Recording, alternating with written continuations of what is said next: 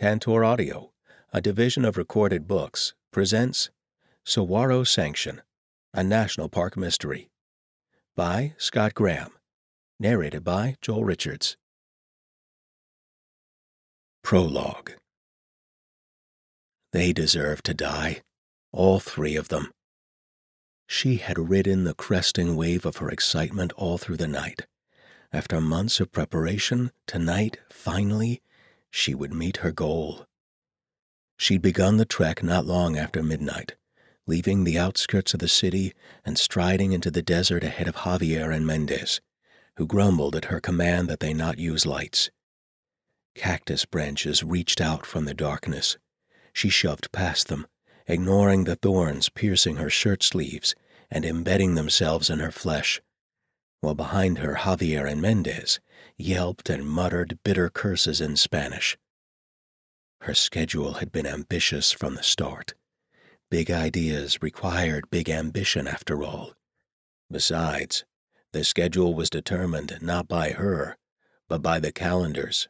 She'd merely tasked herself with meeting their requirements. Now, over the next 24 hours, the schedule required her to bring her plan to fruition. The light evening rain shower had ended by the time she set off into the desert with her two hired hands. As she led them through the night, the clouds gave way to a star filled sky, and the desert exuded its pungent after precipitation scent, filling her lungs with purpose. The three young men met her at the rocks as planned. But when they admitted they had not completed their task, claiming exhaustion and the weight of their cargo, her excitement gave way to outrage. Others had completed the journey with similar loads over the past weeks and months. Who did these three think they were, abandoning her final precious delivery in the desert somewhere to the south? Fury swelled inside her a loosed beast demanding retribution. She pressed her fingers to the looped length of razor wire in the front pocket of her pants, the coils warm from the heat of her thigh. She drew the looped wire from her pocket, slipped her fingers through the steel rings at each end, and stretched the wire taut. The young man who had done the talking did not see her movements in the dark. But when she slipped the wire over his head and cinched it tight around his neck, he felt the full force of her wrath and the slash of the wire through his skin, just as she felt it too, and the warm spray of his blood across her face. Part 1 This high figure with a duck on its head, brightness rounding into every pecked divot. It looked like it was carrying the sun. Craig Childs, Tracing Time. 1. Rosie Ortega inhaled deeply and noisily through her nostrils. I've never smelled anything so good, the 14 year old declared. You sound like a horse, said Carmelita, Rosie's 16 year old sister. Nay, Rosie whinnied. She shook her head, her curly black hair bouncing off her round cheeks. If I was going to be a horse, I'd be a wild horse, especially around here. The desert smells so delicious. Carmelita swept a loose lock of her long dark hair over her shoulder. It'd be hard to find something to eat, though, with all the thorns. Rosie stopped in the middle of the rocky path she and Carmelita were traversing with their mother, Janelle Ortega, and stepfather, Chuck Bender along the spine of a ridge in the Sonoran Desert of southern Arizona.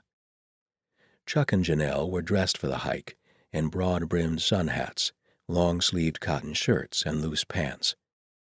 The girls sported running tights, stretchy nylon tops, and ball caps.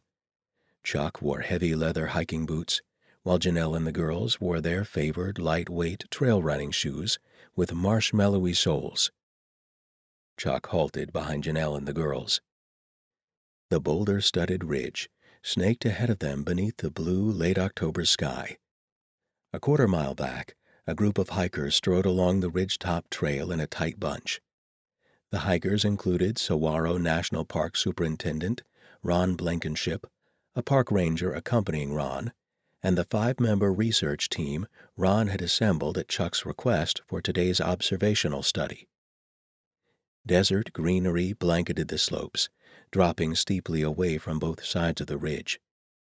Hundreds of saguaro cactuses towered like multi armed power poles above the low mantle of desert foliage, which included prickly pear cactuses with pads the size of dinner plates, barrel cactuses as big around at their midriffs as fire hydrants, and spindly ocotillo, their long, thin gray branches thrust toward the sky. Halfway down the west face of the ridge, a line of brown volcanic cliffs, 30 to 40 feet high, cut through the vegetation, running parallel with the ridge top. Chuck sniffed the air. It had rained the evening before, when a low pressure system had passed through Arizona. With the clouds departed and the morning sun heating the east side of the ridge, the powerful scent of the moist desert filled the air. The scent, sweet and tangy with an undertone of pine, issued from the many creosote bushes dotting the hillside among the cactuses. The pores of the tiny resin coated creosote leaves, wide open to absorb last night's precipitation, emitted the unique smell, as distinctive as any in nature. Despite the nervousness thrumming in Chuck's belly about what today would bring, the pleasing odor invigorated him, putting him in mind of the outdoors oriented life he'd shared with his family since becoming husband to Janelle and stepdad to Carmelita and Rosie six years ago, after far too many years as a lonely bachelor. Over the course of his two and a half decade career as an independent archaeologist, it was the scent of the drying Sonoran desert, even more than the stunning desert scenery itself, that had led Chuck to bid regularly for contracts here in southern Arizona. He drove south from Colorado two or three times each winter to work the bids he won, escaping the snow and cold of the mountains to complete the fieldwork portion of his Arizona contracts. The work trips enabled him to enjoy the warmth and beauty of the low elevation desert straddling the U.S. Mexico border. As an added bonus, after infrequent rainstorms like the one yesterday evening, he was treated to the wondrous Sonoran scent as well. If you ask me, Rosie, he said, there's no better smell on earth. He'd left their Rocky Mountain ringed hometown of Durango in southwest Colorado a few days ago during the first cold snap of autumn to begin work on his latest archaeological contract in Arizona, scheduling his two week stay in Saguaro National Park to overlap with the girls' week long fall break from Durango High School. Yesterday, Janelle and the girls had driven the 500 miles south from Durango to his campsite one of half a dozen bare gravel pads in the park's maintenance yard available to scientists and construction contractors working temporarily in the park. The yard was generally quiet and deserted, used primarily for long term storage. The half dozen sun bleached campsites, complete with electrical hookups and sewer drains, were shoehorned between beige aluminum storage garages lining one side of the yard and the base of the ridge along which Chuck now hiked with Janelle, Carmelita, and Rosie. Despite the increasing heat of the day, a chill ran up Chuck's spine. He and Janelle had rousted the girls and set out up the ridge before sunrise, as the stars faded from the sky with the coming of dawn, for a specific reason beyond simply enjoying the desert at its after rain finest. Six years ago, Janelle had placed her full and unreserved trust in Chuck, leaving the only life she'd known in inner city Albuquerque, New Mexico, to marry him and move with the girls to his small hometown of Durango. This morning, for perhaps the first time since they'd married, he was placing his full and unreserved trust in her. I'm glad we got up so early, Rosie said, gazing at the cactus studded slope aglow in the morning light even if everything's so prickly. Saguaro National Park was home to thick stands of saguaro cactuses, growing where moist air gathered periodically against rounded hillsides and rocky ridges. The park was comprised of two separate districts on the east and west sides of Tucson. The fast growing city sat in a shallow bowl between the two park sectors, with the rugged Santa Catalina Mountains rising at the city's northern edge. Chuck turned his back to the rising sun and looked out from the top of the ridge, which ran through the park's west side Tucson Mountain District. At the foot of the ridge, the park gave way to the flat scrublands of the Tohono O'odham Reservation.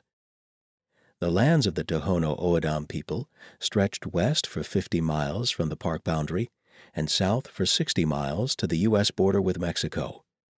At 2.8 million acres, roughly the size of the state of Connecticut, the reservation was the second largest in the U.S., after only the Navajo Reservation that encompassed parts of Arizona, New Mexico, and Utah to the north. Rosie raised and lowered her shoulders in an exaggerated shrug. I guess maybe I wouldn't want to be a horse around here after all. Last year, in her eighth grade Colorado environment class, she had studied the herd of wild horses that lived in remote Disappointment Valley west of Durango, near the Utah border. You'd be surprised, Chuck told her. The desert supports an amazing amount of wildlife, including wild horses. Well, wild burros, anyway. Burros? Rosie asked. Donkeys, Carmelita said. Right? she asked Chuck. Yes, he answered. Burros are small donkeys with extra long hair. They were brought to America by the Spanish conquistadors along with horses. Si, burro, Janelle said, emphasizing the double R's in the word with the rolling trill of a native Spanish speaker. That's Spanish for donkey. Well then, said Rosie. Hee haw! In some parts of the Sonoran Desert, Chuck said, Feral burros are so plentiful they're destroying the plant life and driving out native animals like desert bighorn sheep. Is somebody going to round them up, like they did the horses in Disappointment Valley? Rosie asked. She had learned in class, and reported at home over dinner, the story of the federal government's controversial roundup of the burgeoning herd of non native equines in western Colorado a number of years ago. The feds had chased the feral creatures across the sagebrush covered floor of Disappointment Valley with helicopters, resulting in injured horses and fiery protests by animal rights activists. The desert is too rugged for that. They're using contraceptives instead. I know what those are. So does Carmelita. Rosie's mouth turned up in a sly grin, and she adopted a sing song tone. Don't you, Carm? Carmelita's eyes narrowed, but she did not respond. Chuck filled in the silence. Prophylaxis is an excellent tool when used for the right reasons.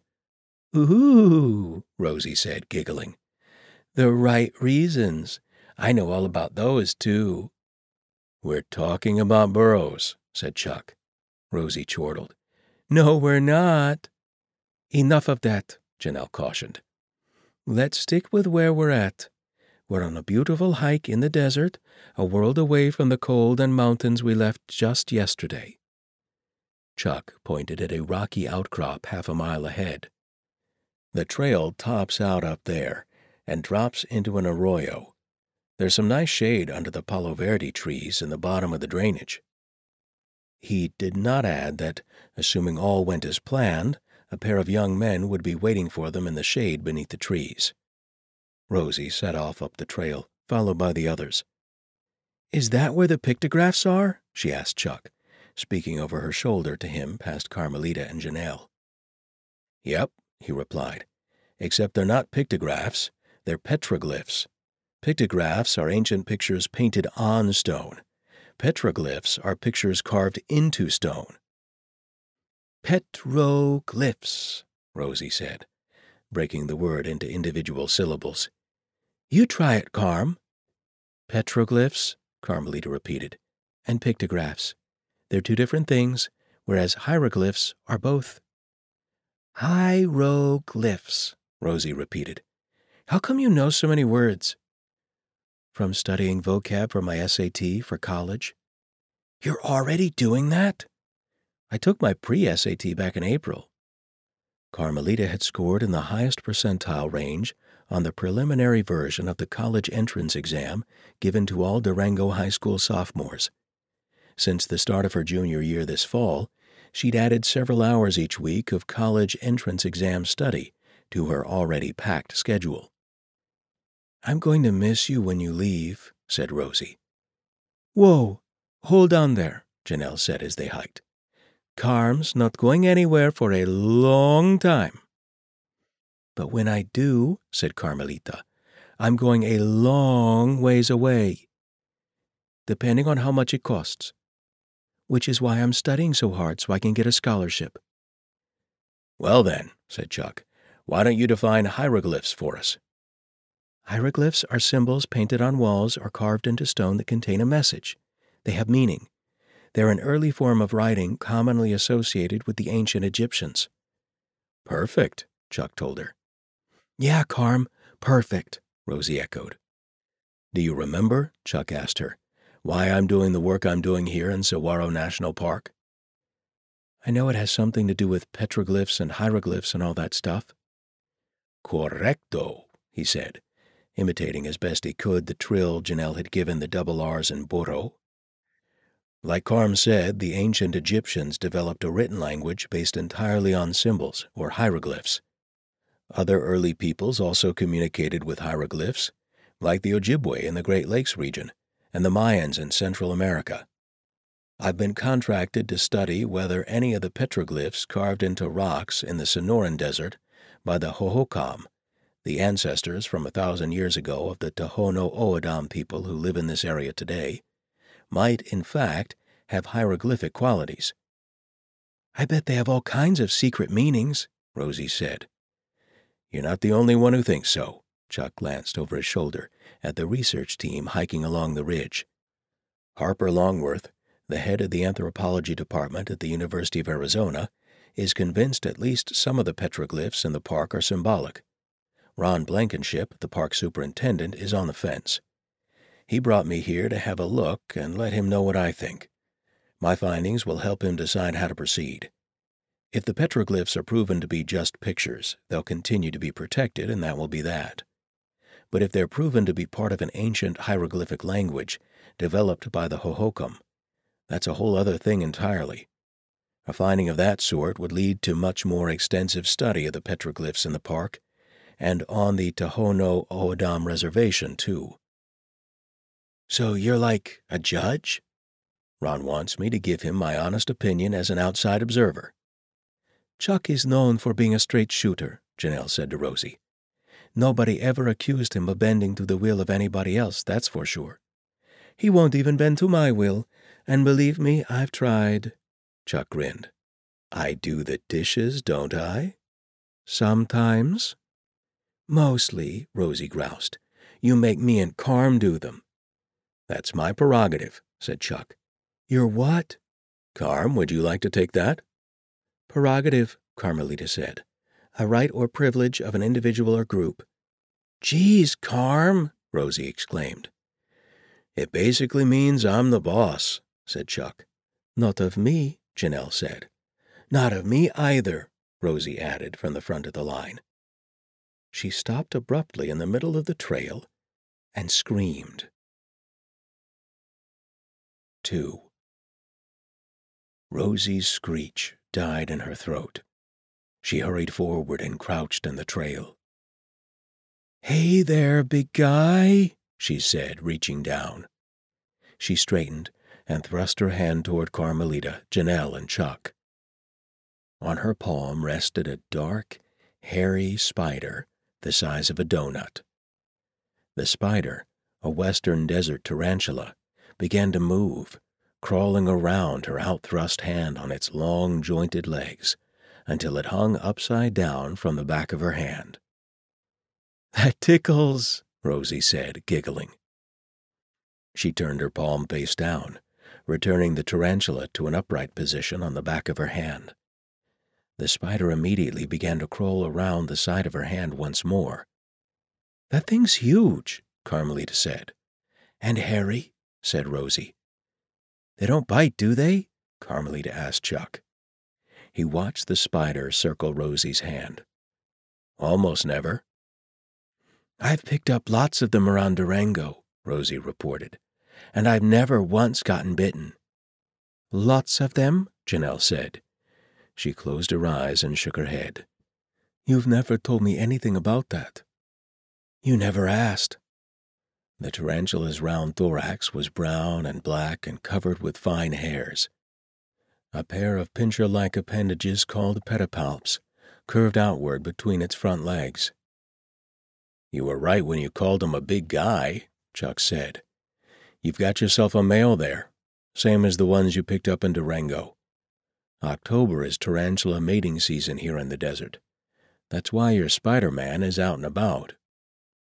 The spider continued to loop Rosie's hand as she turned her palm up, then down, then up again. You can tell he's on a mission.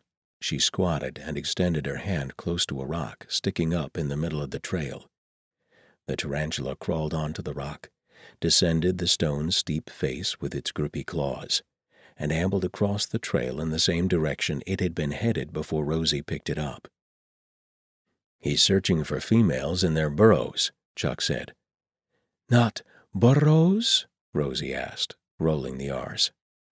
Nope, Chuck said with a smile. Burrows. Little caves female tarantulas dig in the ground and live in for years. The male shows up and taps the ground outside. If the female is receptive, she'll strum the web she's built in her burrow, inviting him in. No contraceptives required, Rosie said, staring at the spider. The tarantula reached the side of the trail, its pace slow and steady, its direction unvarying. Carmelita leaned forward, studying the spider along with Rosie. You're right, she said to her sister. He's on a mission. He's totally ignoring us. It's like we're not even here. Which tells you a lot about males, Janelle said no matter what the species is? When male tarantulas set out across the desert in search of a mate, said Chuck, they never change their direction. Either they find a female or they don't. You mean he's on, like a death march? Rosie asked. Or a life march, you could say. Males don't set out across the desert until they're close to the end of their lives. He pointed at the tarantula. That guy will either find a mate or he'll die trying. Rosie waved at the tarantula as it disappeared into the brush. Goodbye, dude. I hope you get lucky. Rosie, Janelle admonished. Well, I do. He's working pretty hard. And, Carmelita added, he's waited a long time. Janelle jetted a burst of air between her lips. Seriously, both of you? Chuck looked back along the trail at the approaching group of hikers, now just a couple hundred yards behind them. We should get moving, he said to Janelle. She stiffened. Right.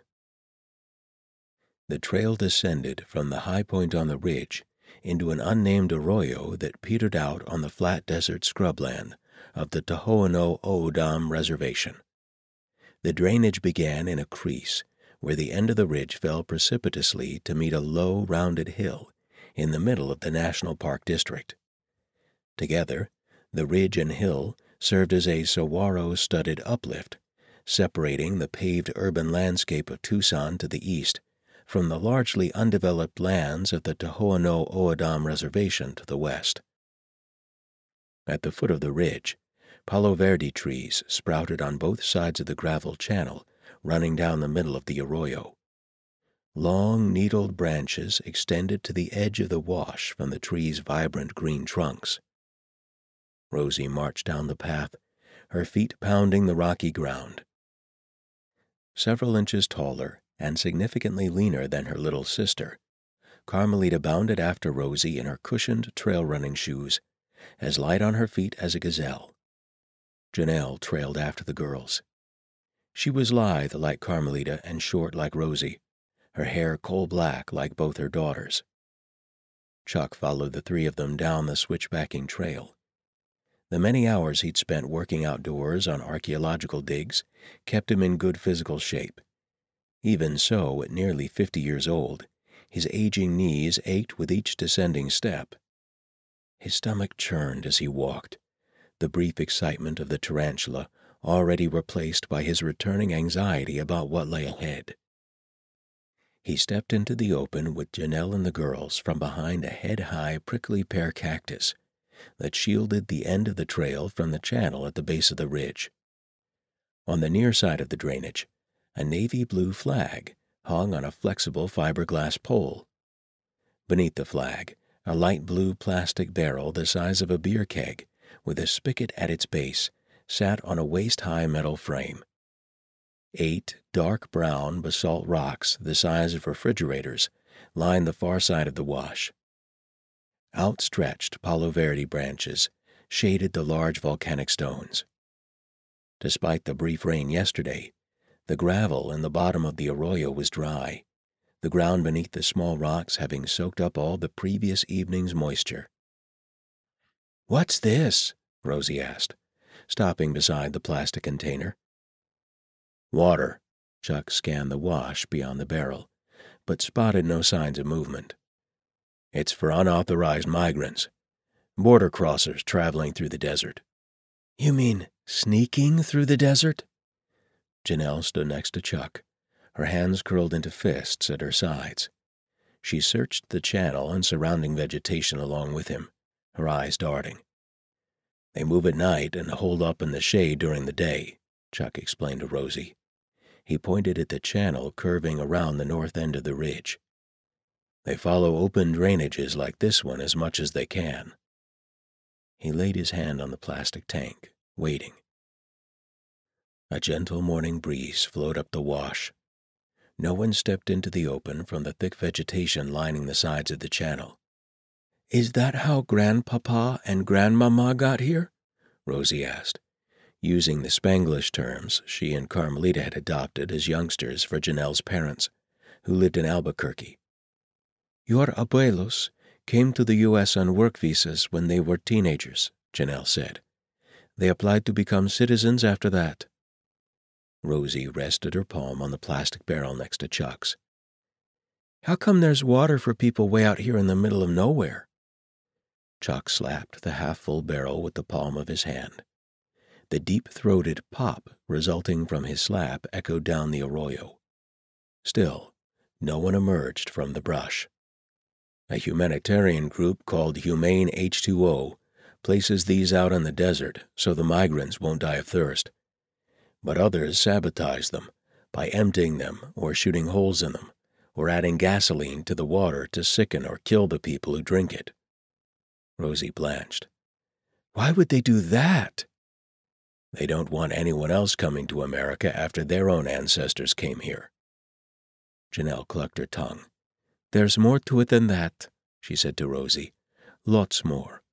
But suffice it to say, most people believe immigrants should come to the U.S. through legal channels like your abuelos did. Except, said Chuck, gaining citizenship is a lot harder today than it used to be. It's almost impossible. Meanwhile, the countries south of here have so many problems that people are willing to risk their lives crossing the border and walking through the desert to get away from them. Like I said, Janelle told Rosie, it's complicated. Very, Chuck agreed. He scrutinized the sides of the channel. Nothing. He turned to Janelle with his brow furrowed. Now what?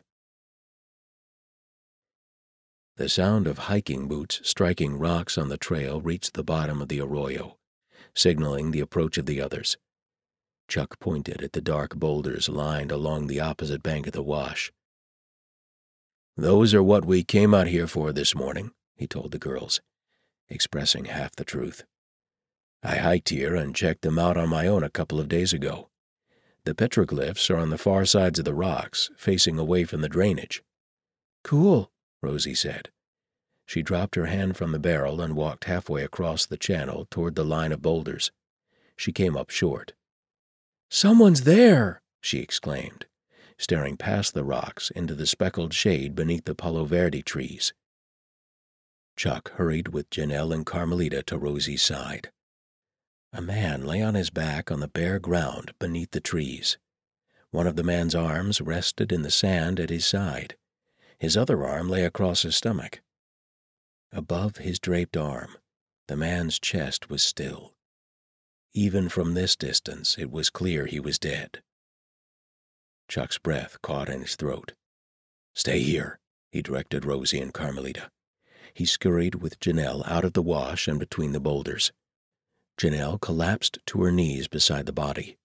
She rocked back and forth, her hands clasped to her chest, staring down. Francisco, she moaned. Oh, Dios mío. She looked up at Chuck, tears streaming down her cheeks.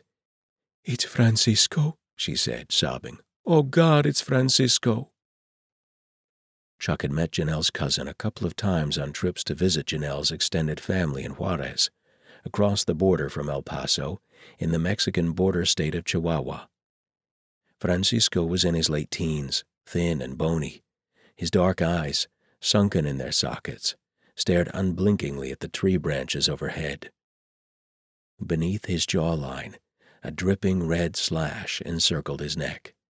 Flies alighted, buzzing on the bloody ring. In the calm air beneath the trees, the metallic smell of blood overrode the piney scent of the drying desert. The skin of Francisco's face was smooth and unblemished, his upper lip shadowed by a wispy mustache. He wore scuffed work boots, torn jeans, and a Western-style plaid shirt with snap front pockets. His thick black hair was tangled and unwashed. The tips of his fingers were ripped open, white bone showing through flaps of bloody skin. A worn ball cap lay on the ground next to him, and an empty canvas rucksack rested on the ground beneath his back, its straps looped over his shoulders. Chuck bent and put his arm around Janelle, drawing her to him. He's dead, he said gently. I'm sorry. There's nothing we can do for him. Someone killed him. He was murdered, Janelle said. She choked back her sobs. And it's all my fault. She jerked her shoulders from Chuck's encircling arm and looked wildly around her. Carlos. Where's Carlos?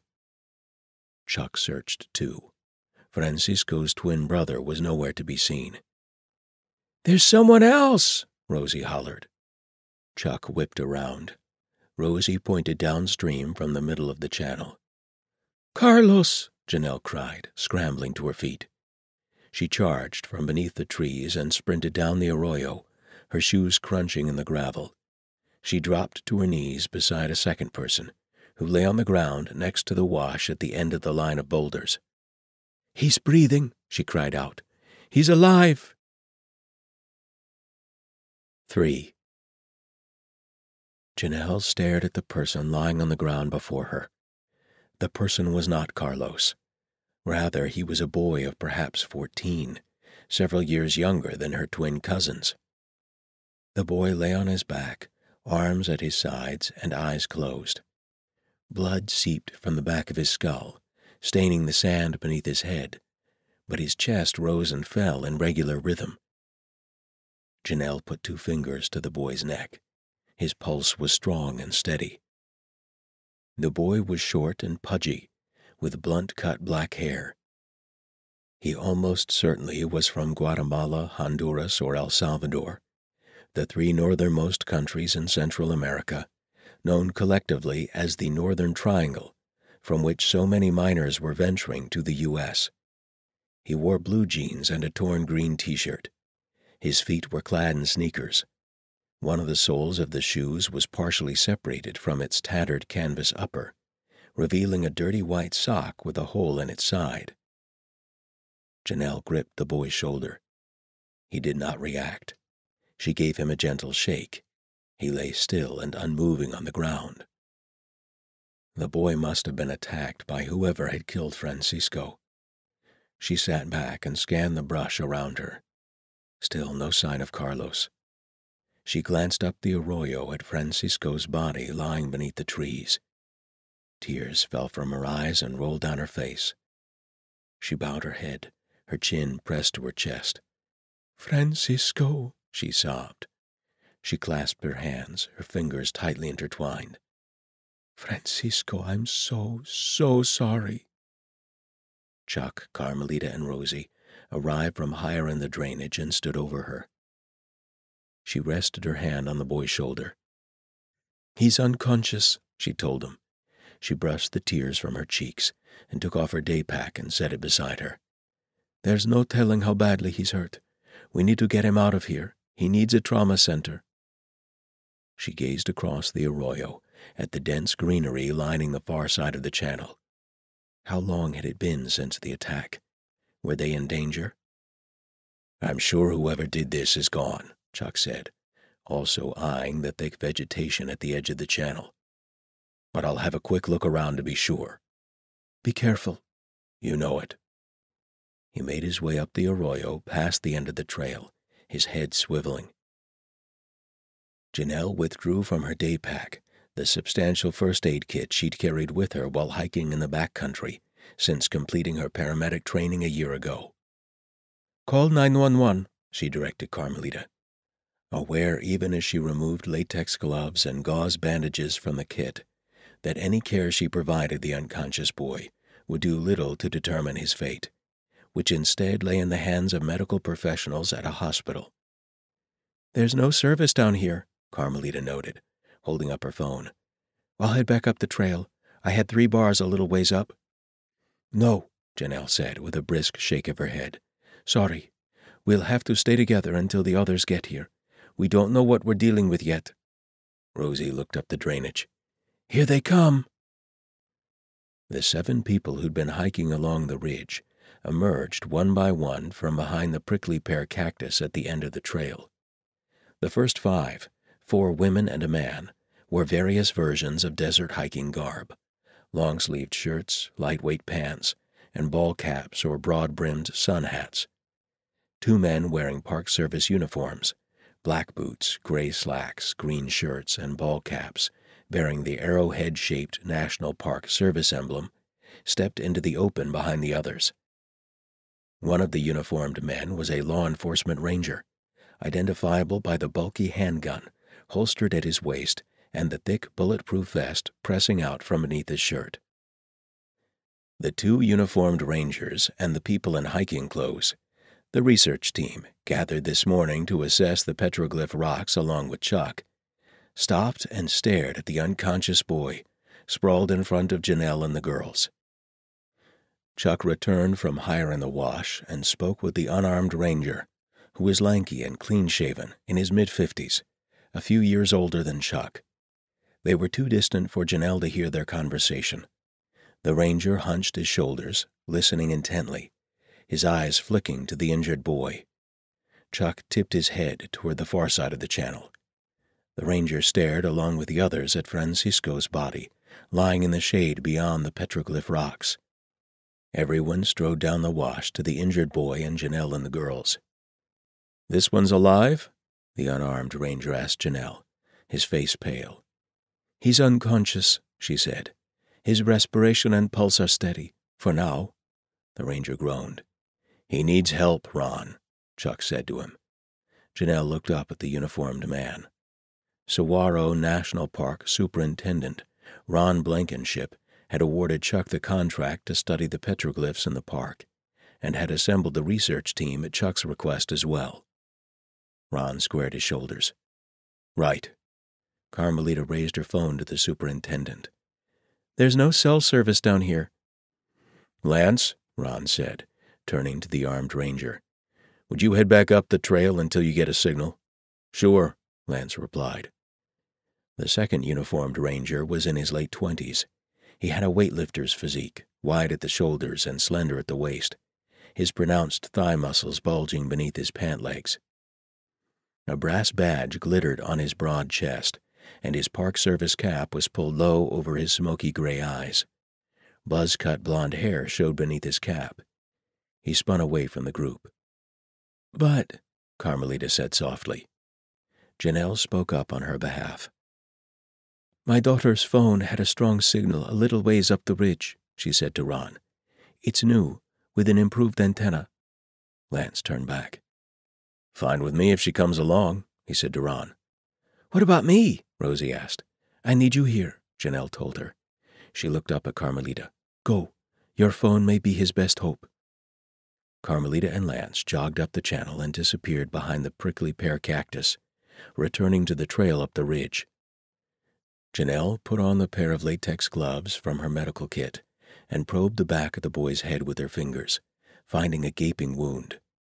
She placed the gauze pads over the wound beneath the boy's skull, taking care to move his head as little as possible. She beckoned Rosie to her side. Kneel down and put your hands over his ears. If he tries to move, hold his head still. Rosie dropped to her knees and pressed her palms to the sides of the boy's head. Chuck, Ron, and the research team tightened their circle around her and Janelle, who addressed the superintendent. I don't think there's anything more we can or should do for him at this point, she said. There's no benefit in moving him. Ron tipped his head forward. After the call goes through, the medevac chopper will be here PDQ, he sighed. We've got them on speed dial at this point, I'm afraid. He shoved his cap higher on his forehead and massaged his brow with his fingertips. Turning to Chuck, he said, I need to take a look at the deceased. Care to join me? The two men headed up the wash along the line of petroglyph rocks. A woman in her forties knelt beside the injured boy opposite Janelle. Locks of brunette hair fell from the woman's sun hat. Her walnut eyes were so luminous they nearly leapt from her olive-toned face. Can I do anything? she asked. She reached behind her and gave her day pack a tap. Would water help? I've got plenty. Or I could get some for him from the water tank. Not now, said Janelle, but maybe if he regains consciousness. Is your water in a liter bottle? It is, the woman said, pulling the bottle from her pack. Good. Keep it handy, would you? If he vomits and we need to turn him on his side, we can use it as a cervical roll to stabilize his neck. Janelle looked up at the empty blue sky, willing the medevac helicopter to appear above the wash despite the departure of Carmelita and Lance only a couple of minutes ago. She squeezed her eyes shut, holding back a fresh onslaught of tears. The blame for the injured boy and Francisco's death and Carlos's disappearance rested in significant part with her. We hope you enjoyed this preview. To continue listening to this audiobook on Google Play Books, use the link in the video description.